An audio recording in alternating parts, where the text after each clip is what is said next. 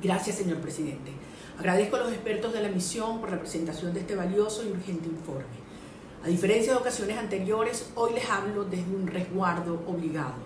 Después de la avasallante victoria de las fuerzas democráticas en las elecciones presidenciales del 28 de julio, el régimen desató una brutal ola de represión a través de las fuerzas de seguridad civiles y militares, así como de grupos paramilitares.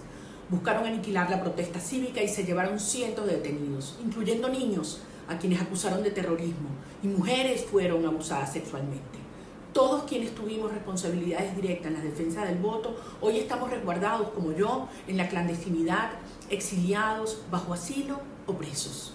Nuestro presidente electo, Mundo González Urrutia, fue forzado al exilio bajo terrible hostigamiento y amenazas a su vida. Por eso, hoy le pido a la comunidad internacional y a este Consejo lo siguiente. Uno, acompañar a los venezolanos para que se respete la verdad y la soberanía popular expresada el 28 de julio. Dos, mantener permanente atención y brindar apoyo a quienes requieren asilo o la emisión de salvoconductos. Tres, renovar el mandato de la Misión Internacional Independiente de Determinación de los Hechos y del Alto Comisionado para los Derechos Humanos. Los venezolanos necesitamos su apoyo. Escuchen nuestro llamado y hagan valer el mandato de las normas internacionales que ustedes protegen. Gracias, señor presidente.